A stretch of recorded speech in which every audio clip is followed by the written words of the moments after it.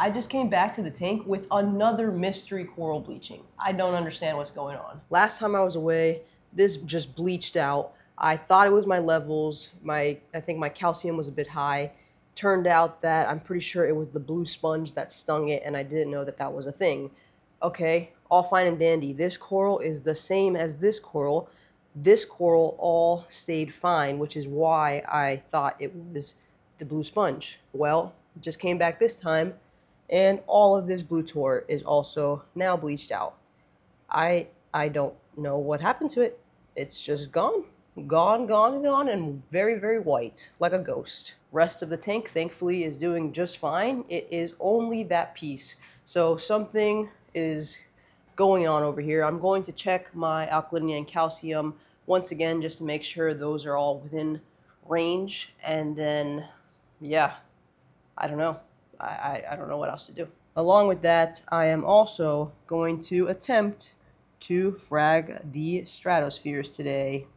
Yay! All of the mushrooms are doing great. Got some in there, some in there. The ones over here opened up nicely too. Beautiful red streak on that guy. I don't know if you could see it, but right above this red dot right here, there is a little baby green speck on that one. So I gotta watch that one, see if maybe I hold on to it and the green develops a bit more. But yeah, the rest of these puppies are available, so hit me up. Let's get the alkalinity tested first. I, I think it, it, since it's just that piece, I'm still thinking something stung it. I just don't know what. Which is the um, the interesting part, right? I think I increased this one milliliter last time.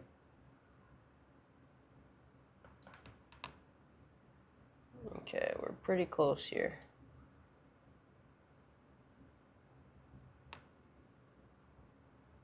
Okay, so I always go and then count back a little. Five, six, 0.68, so 0.66 maybe. We'll say 0.64, so 9. Like right on the edge of my my high. I don't think that's an issue.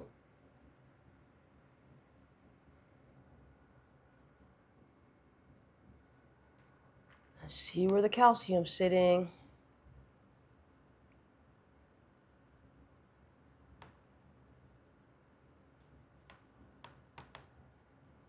holds five, six, seven, eight, two, four, eight point eight four point eight four, four twenty, right on the money. So the alk and calcium is dialed in pretty well.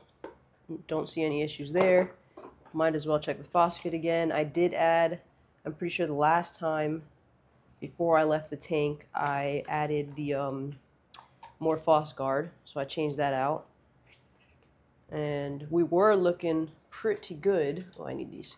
We were looking pretty good, so let's hopefully we were on the same track of like that 0.4-ish area. And here's where we know pretty quick how, how, how rough shape we are in in how in what type of rough shape we're in. I don't know what I'm saying.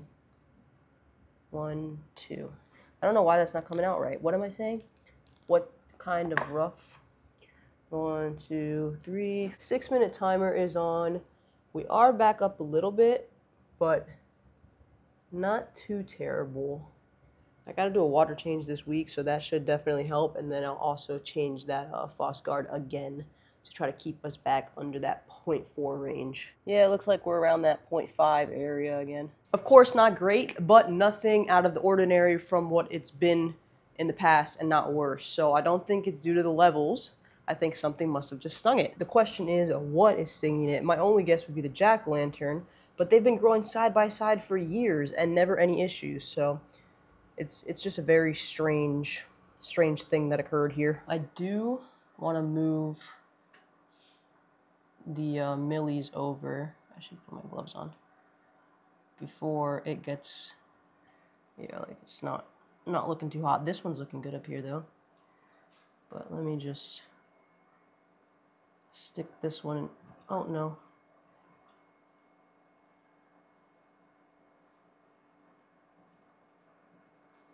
There. I want to make sure that I keep it away from the blue. And then these guys all literally just got bleached. I have one here. Oh, no. I don't want that one to fall. This little little nub here is still alive, so figure out where to put him. There. These all bleached. I don't know if you can tell. You can't tell. Let me let me put the lights in blue really quick. Love me some blue lights, orange sunglasses. All right, look at that puppy back there. You guys see the color? Tell me you see the color coming back. Let's freaking go. You see the tips. The tips are starting to come back into color. If we can get that whole colony's color back up again, that would be a big, big win because that is a nice size. And I grew it out from a frag. Granted, it never looked great because it always grew non-colored up. Like I don't, I don't understand how or why. But now that we're getting some colors in there, that is giving me some good hope.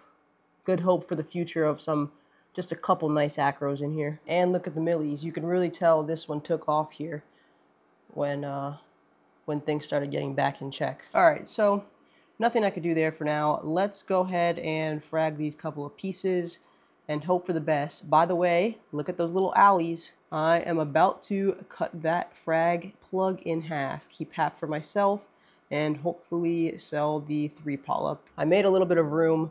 I cleared out some of the frag plugs that, you know, sometimes when you do like a one polyp kind of thing, it just melts away. I try not to do that. I'm also learning more and more like less success rate if you're trying to like peel the zoa off rather than just clipping pieces of the rock that have the zoa on it. So that's what I'm going to do for these. I'm going to cut them off of the rock rather than peel them. I'm going to do these four right here, the Stratocasters, Stratospheres, Purple Monsters, and the Great Owls. We got the four here. I'm going to just do the Owls first. I picked this one because of the split on them. There's like a really clean cut between the center. So I'm going to cut the base. Yes, I'm kind of wasting a plug, which sucks, but I'd rather do that than damage the coral. Okay, and now I'm going to go right between.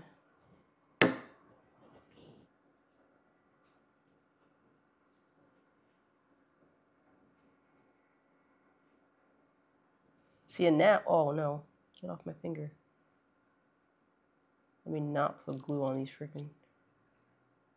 Bro, what in the world? I didn't have to cut into the Zoas at all, which is good because chances that they bounce back quickly, I mean, it's pretty spot on. I don't. There's no reason they shouldn't bounce back, considering I did not. Um, did not cut them. They're unaffected. So they should. Keyword should open right back up when they get back in there. Okay, one done, three to go. I don't like that big bubble on these. These are the Stratocasters. The only place I could see is cutting, like through here. I think I'm still not going to cut these. I don't know. I just, I don't like this big polyp hanging over the top. I feel like it's going to be a, a goozer. I don't want to be part of that. Nope, not doing it. These are the purple monsters. Okay, maybe I pop this off. Then I got like two or so frags I could cut off of this guy. Let me see if I could do it right here.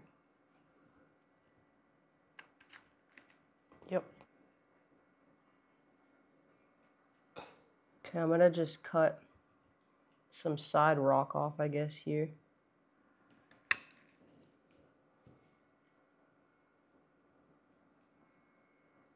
One.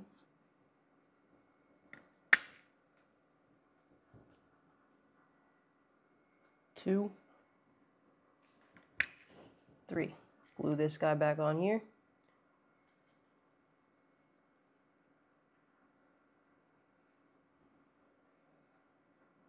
The moment of truth. I'm going to, it looks like I could pop the this whatever disky disc off is, hopefully, and then I might be able to get two frags of two polyps.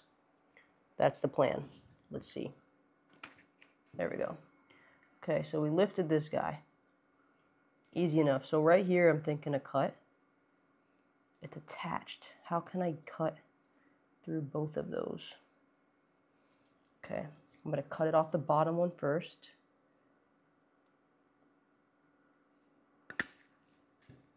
Okay, it's like freaking surgery. Perfect. And now I just need to cut right down yonder. Fingers crossed. Oh no, I fell on the floor. I think I let these roll. I just glue this back on here. That's probably best.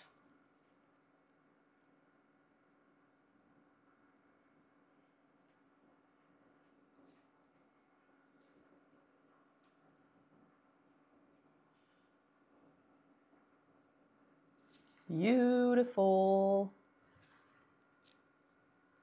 Very nice. Gonna get these guys all back in the tank. Everything here cleaned up, disinfected. And yeah, while that's settling in, I'll feed this tank. And everything is looking much better in here with the exception of this one cyano area that is just, I guess, a lack of flow. But things are opening up nicely, happy. These guys, once I stopped getting them thrown around on the ground, finally opened back up. So we got two little leather frags there. Favia is still good. Zoa's still good. I actually have to pick up those Zoas back there that fell off of this. Ow, this rock right here. I gotta reglue them. That is one of the issues that I'm noticing with um with the smaller polyps that when I when I do glue like just a clump of the Zoa rather than what the Zoa has actually grown over, sometimes they just freaking blow away. And it's kind of annoying. So that's why I'm also, oh crap, I grabbed this with the wrong hand. Ay, ay, ay. So that's another reason I am trying my best to start from now on just cutting the actual Zoa um, off of the rock that it's grown onto. Back into this little zone it goes. Okay, all good. There's the batch of newbies. Honestly, they're probably going to take a while to open up, so you guys will see them in the next one, except for the Stratocasters. Oh, that's because I didn't cut those, that's right. Yeah, they're already popped right back open, ready to rumble. The Stratospheres, Stratosphere 2 polyp. I put the two Great Owl frags in the top. I got to see which one I'm going to keep.